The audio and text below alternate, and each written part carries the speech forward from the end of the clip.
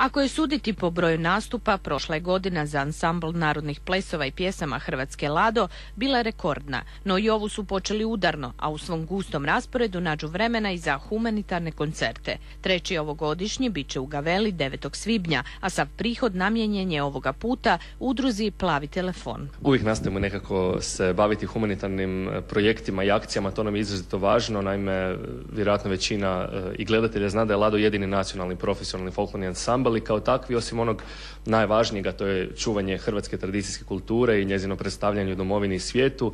Važno nam je jako da nekako i, kako bi se to moderno reklo, društveno poslujemo i da smo angažirani e, za one kojima je to najpotrebnije. Udruga Plavi telefon gotovo 25 godina pomaže drugima, a ovoga puta pomoć je potrebna njoj. Prvi puta se nalazimo u situaciji da prikupljamo sredstva, istina je 24 godine pune pomažemo drugima koji su nas trebali tijekom tih 24 godine e, na desetke tisuća pozivača dobilo je pomoć, spasili desetke mladih života. U ovogodišnjem budžetu udruge Plavi telefon osigurano je 70 posto potrebnih sredstava, zahvaljujući Nacionalnoj zakladi za razvoj civilnog društva te gradu. No treba namaknuti još 70 tisuća da se izrealizira predviđeno. Plavi telefon najpoznatiji po liniji pomoći 48 33888 na kojoj educirani i supervizirani volonteri pružaju pomoć djeci, mladima, ali i odraslima od ponedjeljka do petka od 9 do 21 sat, a u rad su uključeni i brojni stručni suradnici. Svakodnevno od 9 ujutro do 9 navečer, e, osim vikenda i praznika, svakodnevno primamo desetke i više poziva.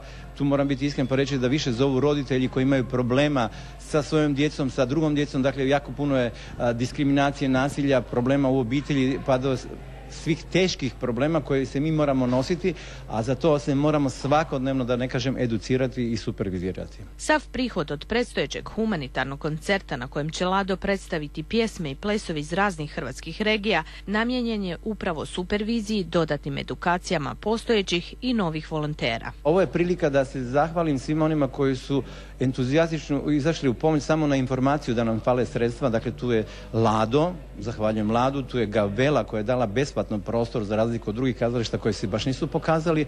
Svi oni koji e, vole gledati ili slušati Lado, kupiti karte od 50 kuna u Gaveli da bi e, taj mali prostor od 350 karat, karata prodali. Linija pomoći samo je dio programa i projekata udruge Plavi telefon koja ima i školu za uspješno roditeljstvo, školu za mlade. Postoji za tisuće onih koji nisu u stanju ili ne žele tražiti pomoć u tradicionalnim savjetovalištima. Eto, Lado je udruzi odlučio pomoći kako najbolje zna i može. Humanitarnim plesnim koncertom u Gaveli u subotu 9. svibnja na koji su svi pozvani, a ulaznica je 50 kuna.